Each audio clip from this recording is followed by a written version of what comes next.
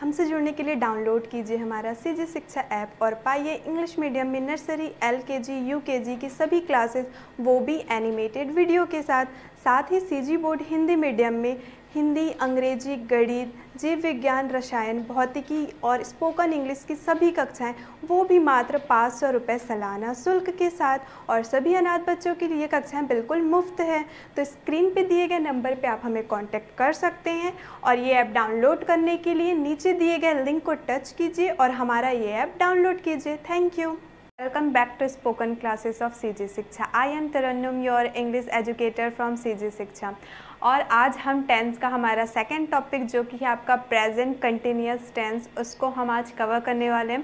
सो so, start करते हैं हम प्रेजेंट कंटिन्यूस टेंस इसके प्रीवियसली हमने प्रेजेंट सिंपल रीड किया था एंड आई होप कि प्रेजेंट सिंपल अब आप लोग को अच्छे से क्लियर हो गया होगा।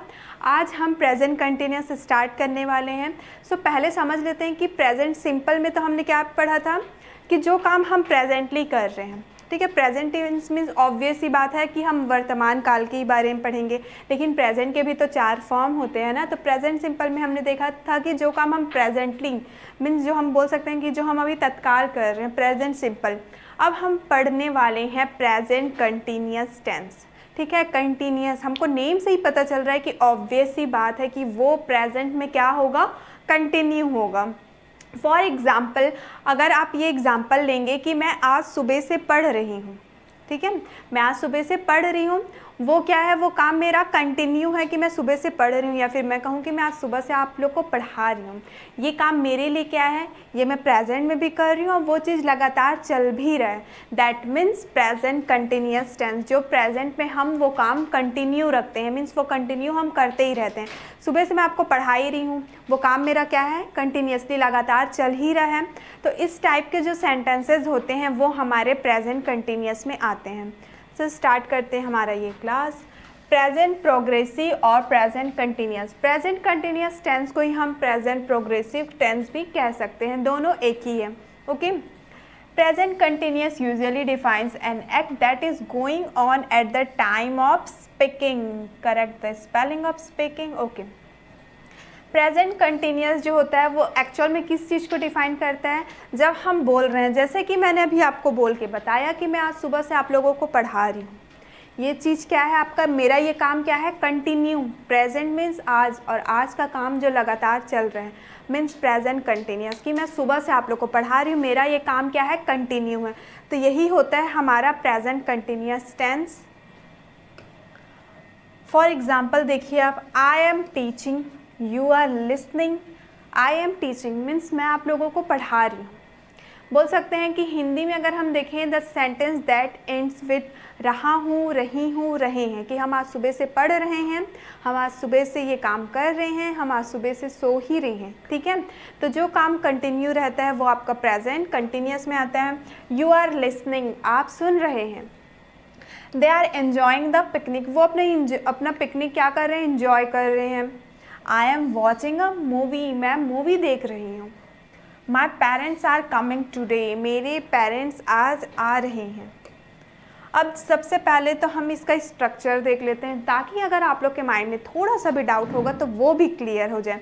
सो so, देखते हैं हम अफर्मेटिव का आप लोगों को याद ही होगा कि प्रेजेंट सिंपल में भी हमने फोर टाइप्स के सेंटेंस पढ़े थे कंटिन्यूस में भी मतलब सारे टेंसेज में हम फोर टाइप के सेंटेंस ही पढ़ेंगे। सो so, हमारा फ़र्स्ट सेंटेंस क्या था? यस yes, हमारा अफर्मेटिव तो सबसे पहले हम अफर्मेटिव का ही स्ट्रक्चर देखते हैं।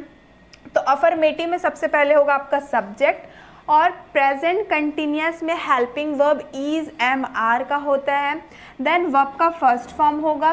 देन आई एन जी होगा। Then rest of the sentence या फिर हम कहें हमारा सेंटेंस का ऑब्जेक्ट होगा। क्लियर स्टूडेंट हमने देखा था प्रेजेंट सिंपल का।